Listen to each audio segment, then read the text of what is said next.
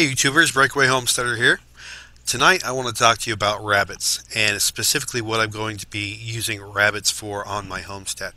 Now I have three dogs and I feed them a lot of food and uh, it costs a lot of money. So what better way to start the homesteading adventure than to raising our own rabbits to replace their food so not only is it healthier for them but it's lighter on my pocketbook.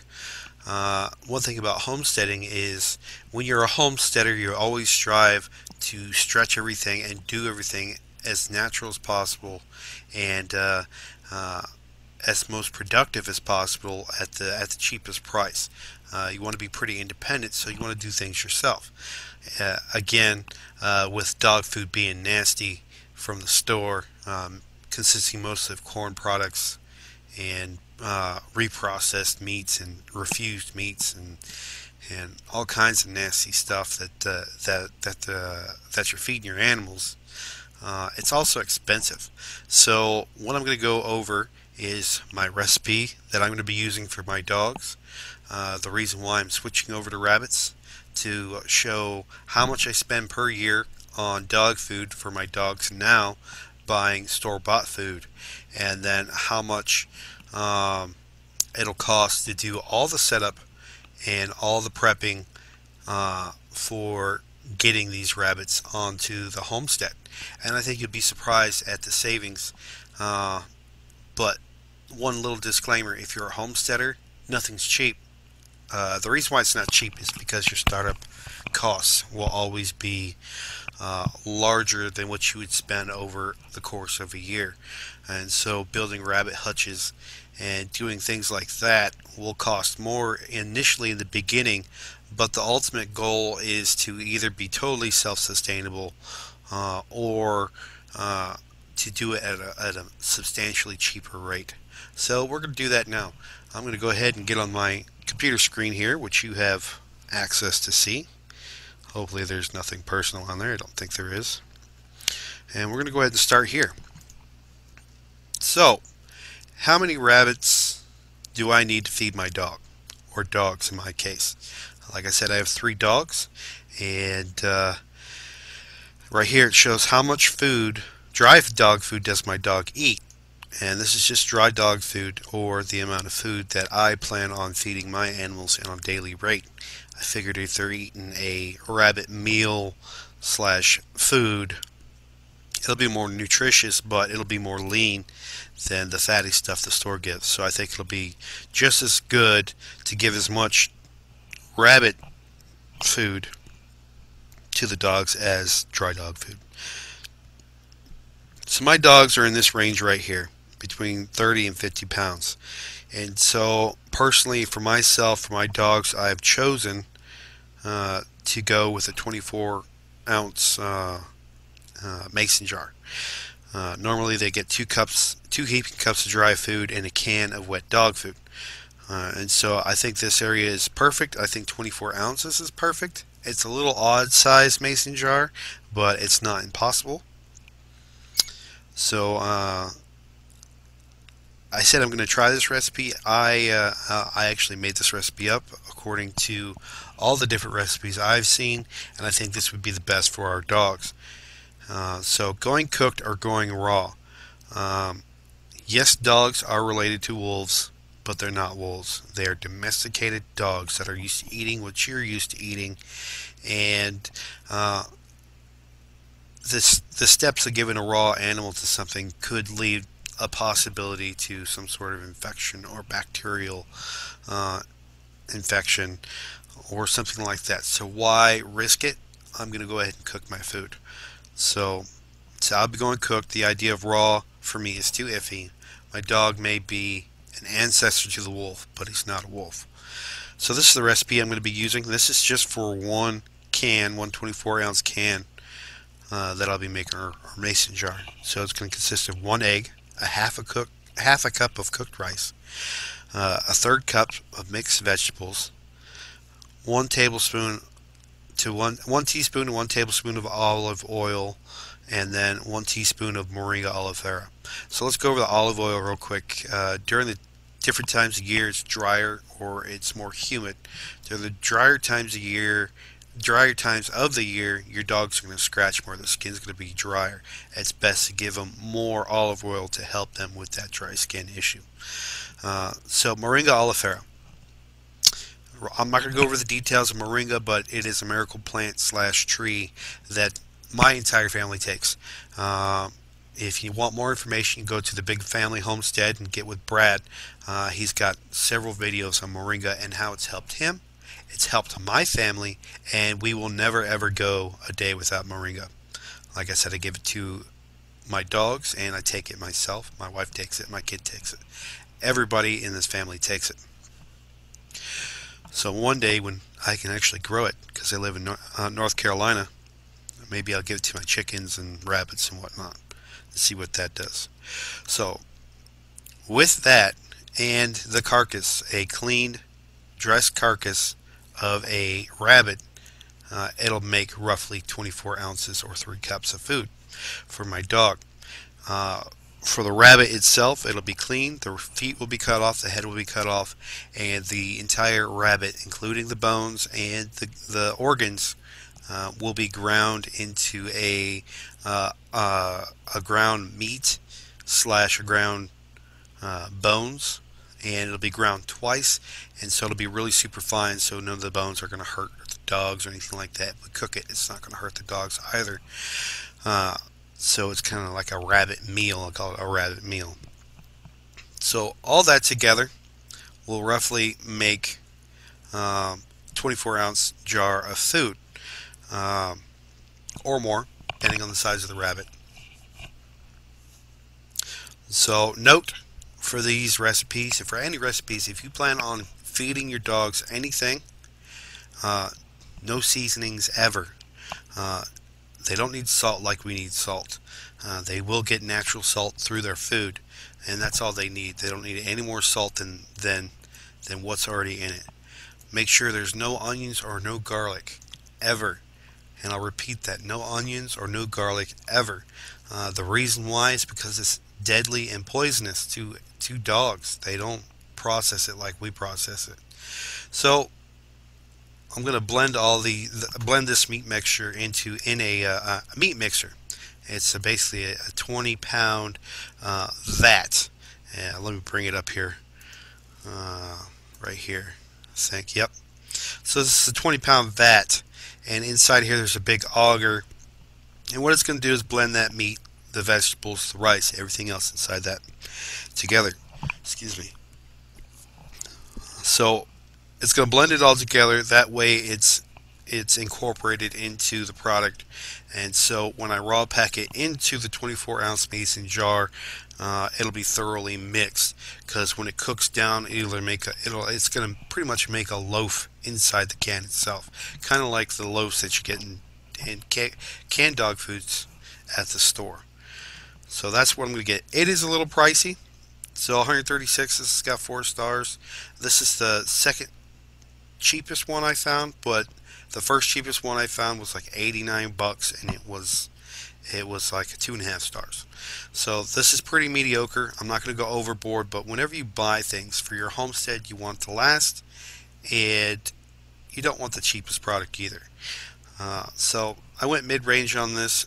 If it works out for me, I will probably end up later down the road uh, building an outdoor kitchen and getting a more uh, industrial meat mixer.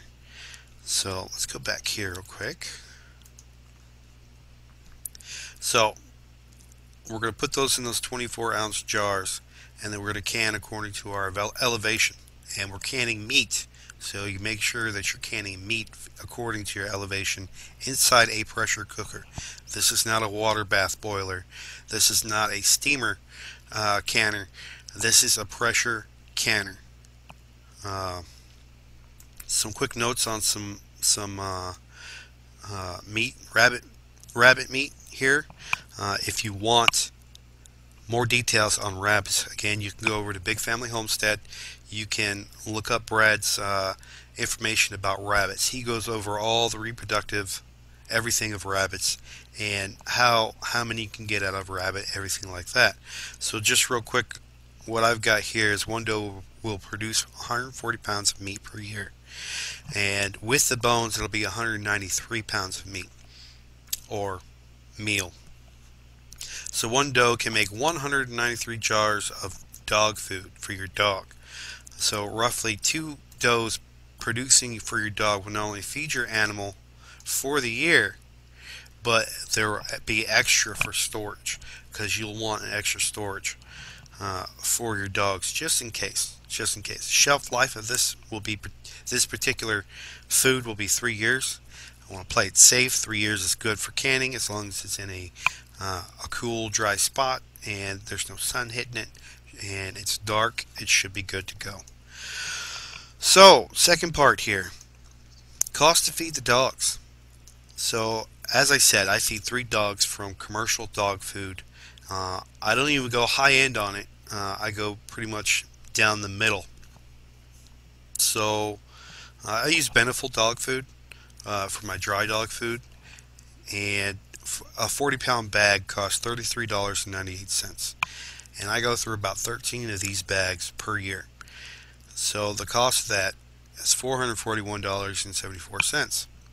Now wet dog food, I go a little cheaper on this. I usually get the Old Roy.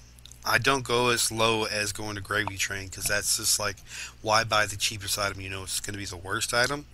Uh, so I go a little higher up. I get Old Roy instead of uh, Gravy Train. But it's three cans a day for 365 days. That's 1,095 cans per year. That's a lot of junk. That's a lot of garbage. That's a lot of refuse that uh, you need to strive towards not uh, producing. Uh, as a homesteader, you're going to be as self-reliant as possible. If you can use the cans, if you want to make a solar heater or use them for your gardening or something like that, uh, I'm not into that, but if you are, go for it. Uh, but I wouldn't want to make a solar heater out of dog food cans anyway because I don't want dog food heat coming out of those vents. Not a not a pleasant smell because it will stick into the film of those cans.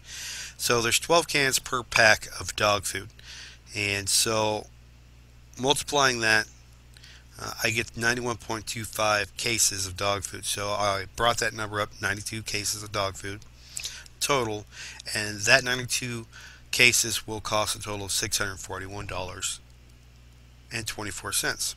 So the total dog food for one year, and this is mediocre, this isn't high end, is $1,000, $1,083.18.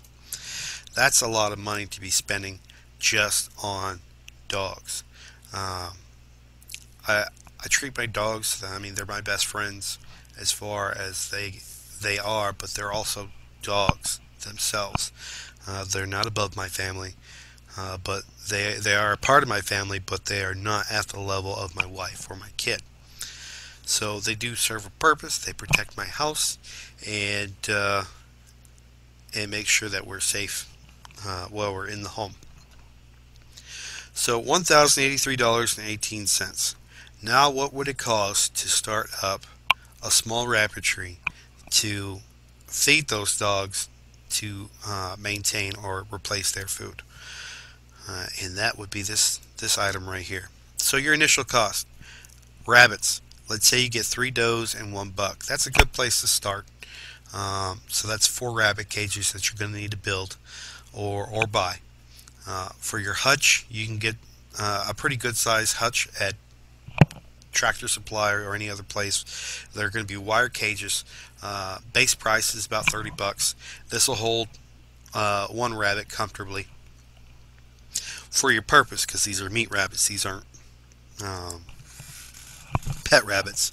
But you want to consider treating your does and bucks that are breeding a little bit better than the actual stock they're going to be providing for you because they will be around a little bit longer. So the more comfortable you make them, the better they'll produce. So here's an example of of what I'm going to be building. Uh, it's not going to be exactly like this. I'm not going to have a little poop chute or anything like that. But the person who built this said it cost about $400 to build.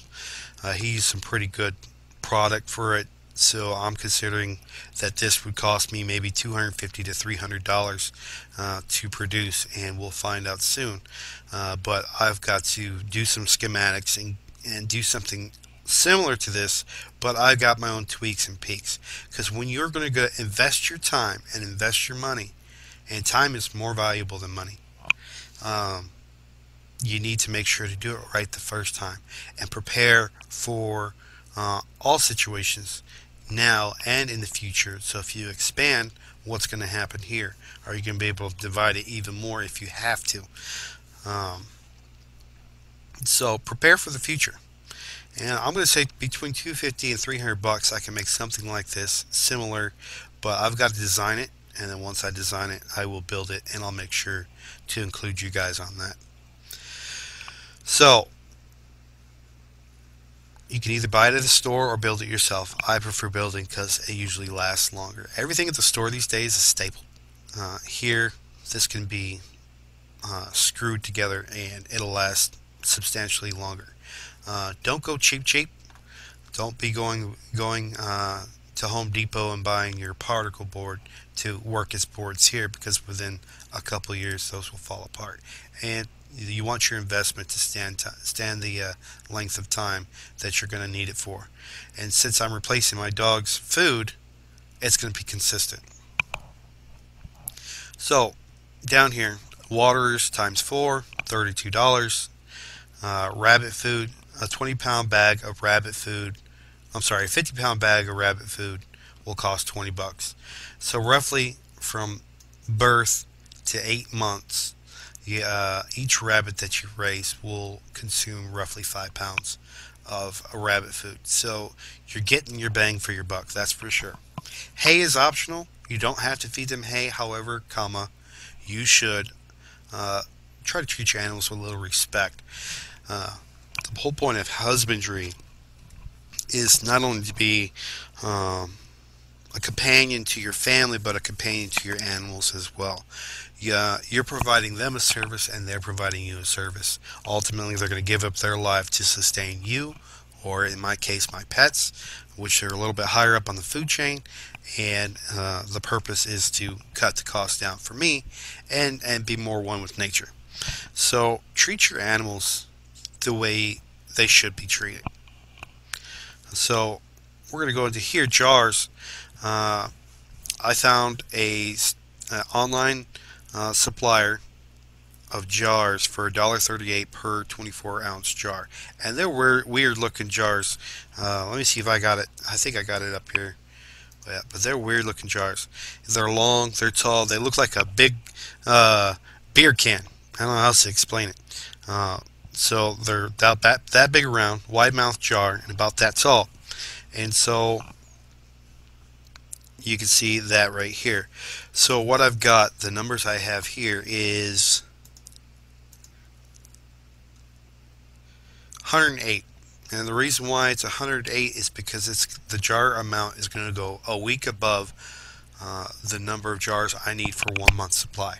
So when I make it, it'll be one month supply plus a week. So by the time that next month rolls around, uh, pending whether it goes left or right a few days, I will have enough food left over to continue to uh, not only stock, but to uh, feed my animals just in case something happens. The weather could be bad. This is part of planning. This is part of homesteading. You need to look ahead into the future and prepare. That's the word. Prepare yourself for something that may or may not happen. So, meat grinder. Uh, you can get a decent meat grinder. You're not looking for anything high end. You're just grinding up uh, uh, rabbit carcasses. Um, something substantial. You you'll want it to have have enough power to be able to grind meat and bones, which won't be that hard because you're going to grind it twice. Uh, but a meat grinder will cost you around 75 bucks. If you're spending more than that, you're kind of wasting your money because this is a single purpose thing. Unless you plan on uh, getting a really nice one that's going to last forever, maybe look for a, a, warranty or something like that, I wouldn't spend more than 75 bucks. Food mixer. We just looked at that. Uh, 150 bucks is the range around there. I'm spending a little less because I, I'm getting a mid-range uh, they go all the way up to like 400 bucks. So I'm getting, I think I'm getting a decent one. It mixes 20 pounds of food at a time. Uh, I think we'll go with that. Uh, pressure canning, uh, depending on what you get. Uh, a good used pressure canner on eBay, an all-American pressure canner, will go for 150 bucks. Uh, you don't want.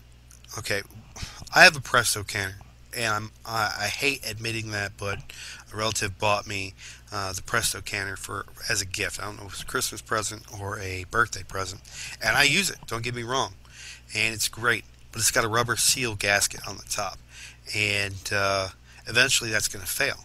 So being a prepper and a homesteader, I'm looking towards the future.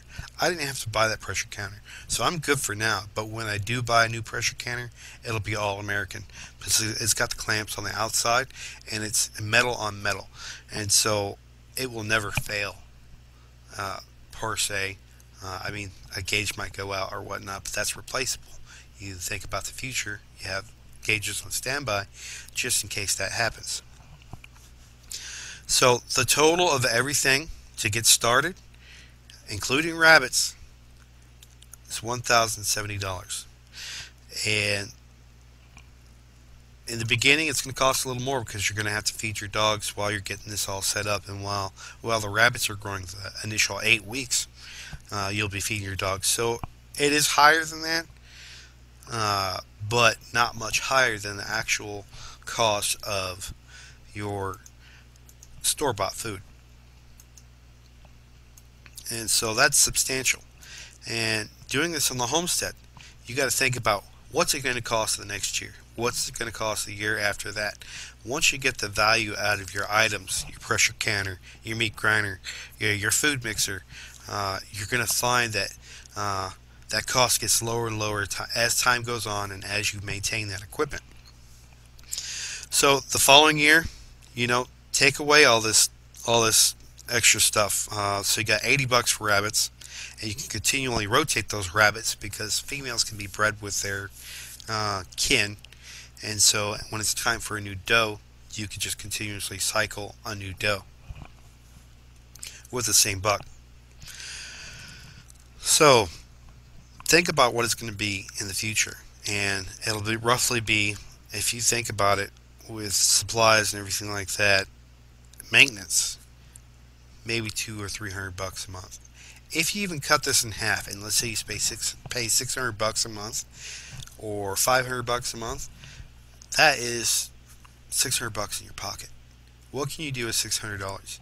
You know, if you're a failed gardener and you can't make stuff grow, maybe that $600 can go into your garden next year to where you go out and buy bonnie plants or some plants from your local gardener picking up plants for them from them and putting them in your garden. And all of a sudden, you're a successful gardener. You, your crops produce, and they produce bountifully, and you take it to the local farmers market or something like that. It actually comes back to you uh, because you save that money to get that. So, benefits of raising rabbits. Uh, not only are they going to sustain you with food, you can keep their furs. I'm not into that. I'm not I'm not there yet as a homesteader. I've only been homesteading for four months. What else? Um, manure. Rabbit manure is not a burnable manure. You can put it directly into your garden, and it's fantastic for growing plants. And so, like me, I have all sandy soil. So not only are they going to be producing meat, for my dogs, but they're also going to be producing fertilizer for my garden. They're going to be creating that humus to be put into the dirt to separate the sand particles, and so it'll retain more moisture and grow better food. So I hope you enjoyed this video. I hope it was informative for you if you ever decide to use rabbits for, for dog food. Uh, you could use my recipe. Hopefully it's good. If you really enjoyed this video, give it a thumbs up. Uh, and if you want to see more content like it, uh, be sure uh, to subscribe to my channel because there's more content to come. I'll have the links in the description for the Big Family Homestead for those other videos I was talking about. And be sure to check them out. Give them a thumbs up as well. It helps them out. And Uh, this is Patrick, the Breakaway Homesteader, signing off. Have a good night.